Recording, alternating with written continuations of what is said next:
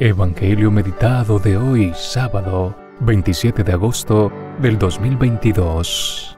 Proclamación del Santo Evangelio según San Mateo. En aquel tiempo, Jesús dijo a sus discípulos esta parábola.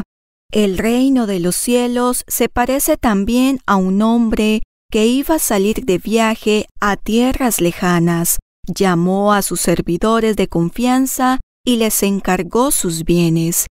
A uno le dio cinco talentos, a otro dos y a un tercero uno, según la capacidad de cada uno, y luego se fue.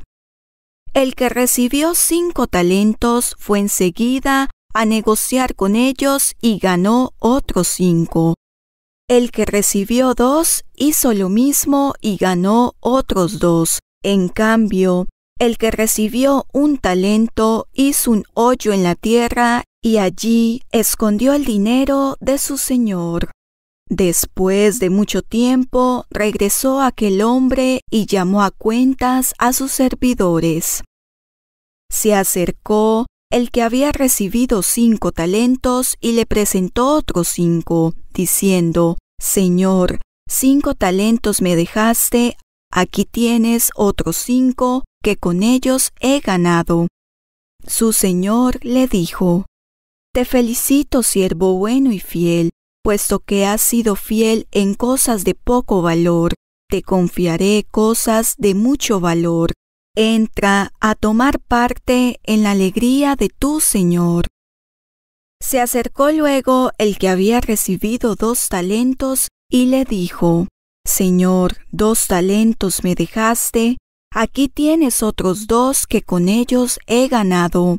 Su señor le dijo, Te felicito, siervo bueno y fiel, puesto que has sido fiel en cosas de poco valor, te confiaré cosas de mucho valor.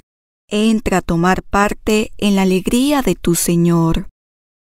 Finalmente, se acercó el que había recibido un talento y le dijo, Señor, yo sabía que eres un hombre duro, que quieres cosechar lo que no has plantado y recoger lo que no has sembrado. Por eso tuve miedo y fui a esconder tu talento bajo tierra. Aquí tienes lo tuyo. El Señor le respondió, Siervo malo y perezoso, sabías que cosecho lo que no he plantado y recojo lo que no he sembrado. ¿Por qué entonces no pusiste mi dinero en el banco para que a mi regreso lo recibiera yo con intereses?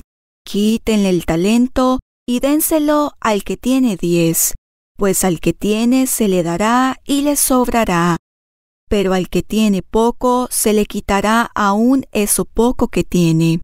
Y a este hombre inútil, échenlo fuera a las tinieblas, Allí será el llanto y la desesperación. Palabra del Señor. Gloria a ti, Señor Jesús.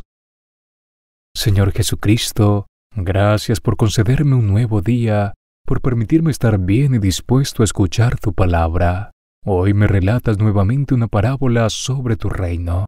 Me insistes y me instruyes con estas comparaciones para que comprenda mejor tu mensaje. Señor mío, en tu narración me dejas ver dos actitudes muy diferentes. La primera es la de los siervos fieles y buenos que duplican sus dones y son felicitados por su amo. La segunda es de aquel siervo perezoso y malo que entierra su don y que es echado fuera por su negligencia. En estos momentos me pregunto, ¿Con cuál de los siervos me identifico mejor? ¿Será que he duplicado los talentos que Dios me ha concedido? ¿O acaso he sido egoísta y no he trabajado ni compartido lo que he recibido? Tal vez, Jesús mío, he sido un poco de los dos, porque mi comportamiento no ha sido del todo bueno. Tú conoces mis obras y sabes que en ocasiones he tratado de esconder mis talentos que no he compartido lo que tengo y me he negado a instruir a los demás. Sé que tú has dejado bajo mi cuidado muchas cosas y que no he sabido cuidarlas como se debe. Sé que he llegado a pensar de ti lo que el servidor infiel me he atrevido a describirte como vengativo, injusto y arbitrario. Qué equivocado estaba, porque no puede existir nadie más compasivo, misericordioso y justo que tú. Te imploro que perdones mi imprudencia y mi falta de compromiso. Mi amado Jesús, sé que aún estoy a tiempo de ponerme a trabajar en lo que me has concedido. Sé que me das una nueva oportunidad para mejorar. Sé que puedo llegar a ser como los servidores fieles, duplicar cada don recibido y cuidar bien cada persona puesta a mi cuidado, porque estoy convencido que cada uno de los seres humanos hemos recibido por lo menos uno de tus dones. Ayúdame, Señor, a descubrir cuál o cuáles son los míos, para que pueda compartirlos con mis semejantes, ponerlos a tu servicio para el crecimiento del reino de Dios. Señor mío, envía el Espíritu Santo a mi vida para que yo pueda reconocer las oportunidades que tú me das para servir a los demás. Haz que ilumine todo mi ser y descubra para qué fui enviado a quienes he de ayudar y evangelizar. Deseo dedicarme por completo a ti, hacer todo cuanto me has mandado y ganarme tu confianza nuevamente. Deseo serte fiel en lo poco aquí en la tierra para que tú algún día me puedas confiar mucho más en el cielo. Ya finalizando nuestro encuentro, Jesús mío, deseo reiterarte mi compromiso contigo. Me comprometo a orar intensamente para descubrir los dones que me has concedido.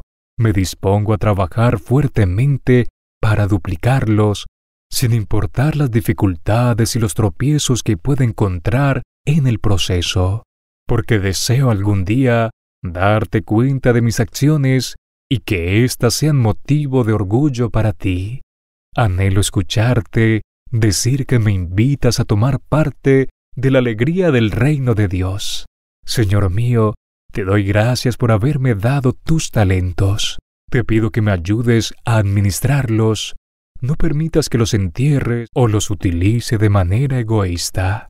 Que cada don, cada cualidad o destreza que tenga, la ponga a favor de las buenas obras.